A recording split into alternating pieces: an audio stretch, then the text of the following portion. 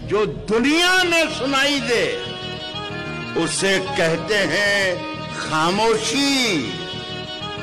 और जो आँखों में दिखाई दे, उसे